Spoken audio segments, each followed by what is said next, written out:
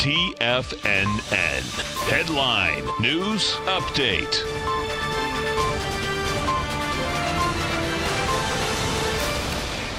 Welcome back, folks. Uh, we had the Dow Industrials finished down 80, Nasdaq up 19, S&P's flat.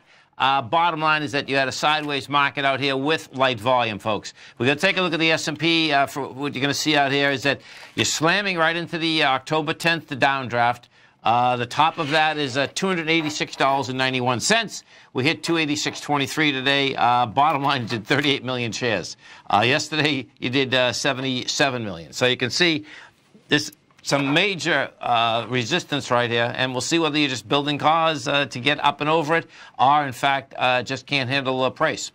The th that was your S&P. NDX 100 is the same type of setup. Now the differential in the SC, the NDX is that that hasn't reached the high yet of the 21st of March. That's 182.83. We got to 182.90 today. you closed at 182.73.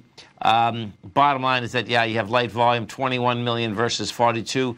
Now, that you can say is a subtle failure, pretty intense, but it's still laying at the high. Small caps, small caps are still the weakest indice out here. You had a sideways move out there, slightly lower. Uh, down 40 cents, 154.36. The differential is that the small caps uh, made it to the downdraft of the 22nd of March. Now, that was the second downdraft because the small caps had topped out and this last get-go on uh, February 25th. So the date we're talking here is on March 22nd. Uh, got above it, closed underneath it, uh, 40 million shares versus 17 today. So that is a failure uh, in spades, too.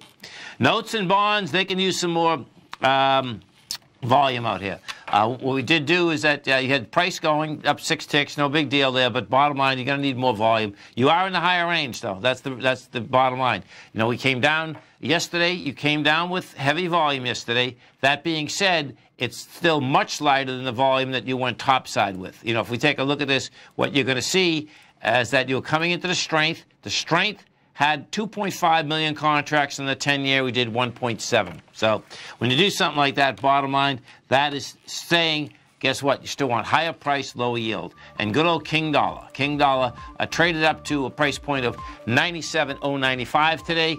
13,000 contracts. The high was looking for is 97.160. And um, the Bulls and Bears are still fighting it out over at King Dollar. And it's actually all about the euro. The euro is right at its lows. That's trading 111.99. We'll see whether it wants to jump off the cliff. Stay right there, folks. Come right back.